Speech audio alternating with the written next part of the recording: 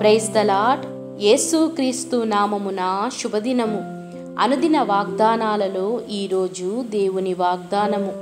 దేవుడు మిమ్మును గురించి చింతించుచున్నాడు గనుక మీ చింత యావత్తు ఆయన మీద వేయుడి.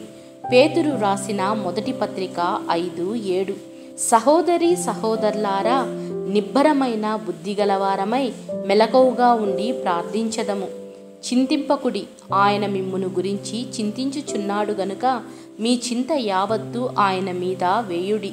నీవు నమ్మిన ఎడల దేవుని మహిమను చూచెదవు. ఆయనకు మొరపెట్టగా ఆయన ఆలకించును. ఆయన చిత్తమును నెరవేర్చుటకు మనము సంతోషించదము. నీవు నమ్మిన ఎడల దేవుడు నీ జీవితంలో గొప్ప కార్యము చేయబోవుచున్నాడు హృదయాలను పరిశోధించువాడు ఆత్మ యొక్క మనస్సు ఏదో ఎరుగును. ఆయన వాక్యాన్ని మన హృదయంలో ఉంచుకొని ఉండాలి. ఆయన నీ పక్షమున కార్యము సఫలము చేయును. ప్రతి స్థలములో నీ యొద్దకు వచ్చి నిన్ను ఆశీర్వదించునని మన దేవుడు సెలవిచ్చుచున్నాడు. నా ప్రియ కుమారుడా ఎందుకు వేదనలో ఉన్నావు?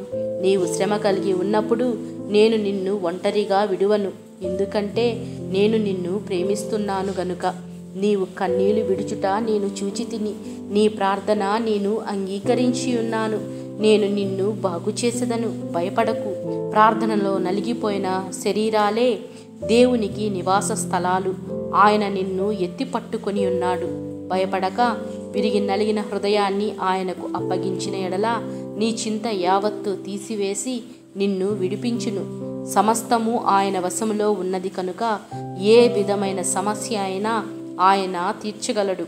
అయితే నీ హృదయాన్ని ఆనందంతో నింపుకున్నప్పుడు నీ చింత అంతయు తీసివేసి ఆయనకు అప్పగించిన వాడివిగా ఉన్నావని అర్థము. ఆలోచించి దేవుని మీద నీ చింత అప్పజెప్పి ఉన్నావా లేదా అని నీ హృదయంలో పరిశోధన చేసుకొనుము. సమస్త ఆశీర్వాదములు మీకును మీ కుటుంబాలకును దేవుని ద్వారా అనుగ్రహించబడునుగాక. ఆమెన్.